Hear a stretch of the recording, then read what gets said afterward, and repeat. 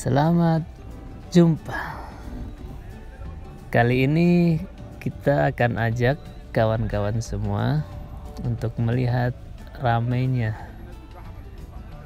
pasar mobil di Kairo. Orang pribumi, orang Mesir biasa menyebutnya dengan sebutan Suksayarot.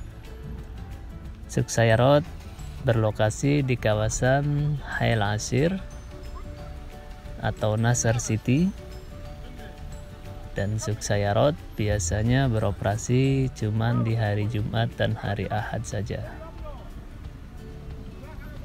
Jangan heran kalau kawasan ini rawan macet setiap hari itu. Apalagi di hari Jumat biasanya lebih ramai dari hari Ahad karena kebetulan hari Jumat adalah hari libur nasional.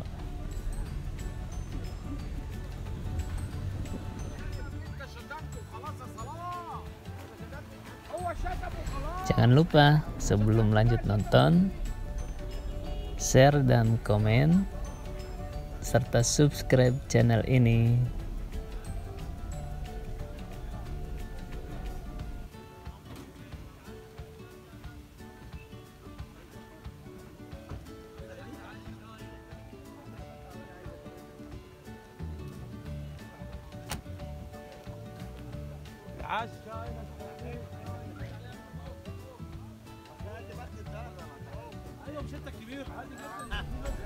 Tahu nggak kawan-kawan semua? Setiap harinya 5000 mobil sampai 10.000 biasanya berjajar di Suksayarot ini. Beraneka ragam mobil dijajakan di sini dari mobil zaman era 80-an sampai mobil terbaru pun tahun 2019 itu ada di sini. Dari mobil yang kelas mewah seperti Mercy, BMW, Skoda dan yang lainnya ada di sini. Bahkan mobil keluaran Cina pun itu ada di sini. Yang heran lagi biasanya mobil yang sudah plastikan seperti ini atau yang sudah ringsek pun biasanya ada di sini.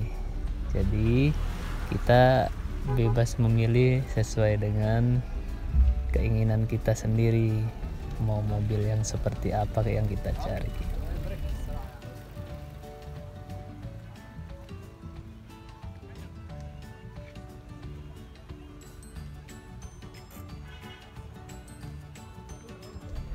Disarankan ketika berkunjung ke sini untuk mencari mobil itu harus membawa orang yang paham dunia otomatik karena tidak menutup kemungkinan kecurangan itu bisa terjadi.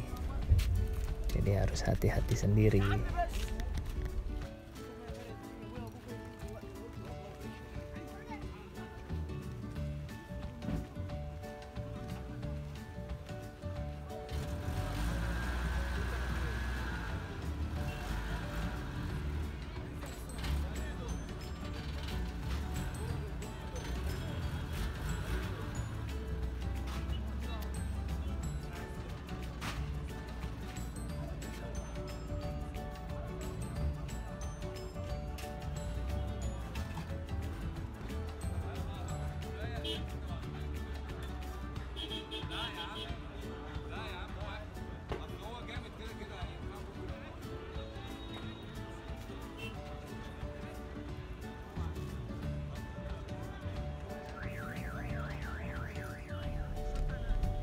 Yang unik di Suksayorot ini di pasar mobil di Kairo ini setelah kita dapat mobil yang kita cari keliling mobil yang kita cari sudah kita dapatkan biasanya pemilik mobil mempersilahkan kita untuk mengecek mobil terlebih dahulu mengecek mesin bodi mobil bahkan aksesorisnya pun kita bisa mengeceknya langsung. Setelah dirasa cocok, baru kita mulai beranjak ke tawar-menawar harga mobil. sampai disepakati deal baru setelah itu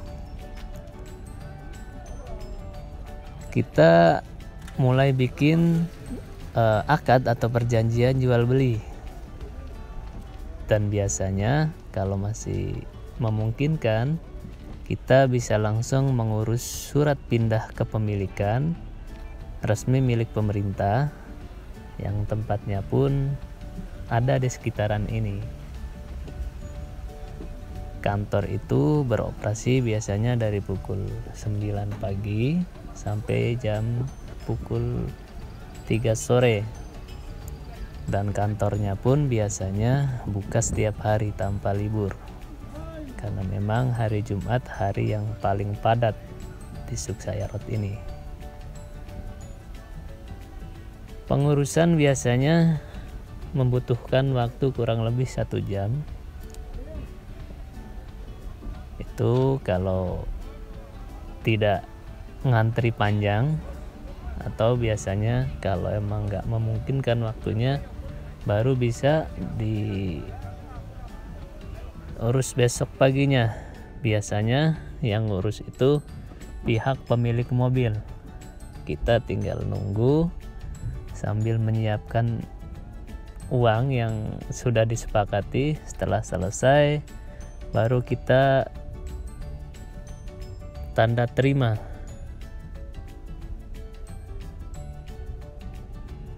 Kita bisa.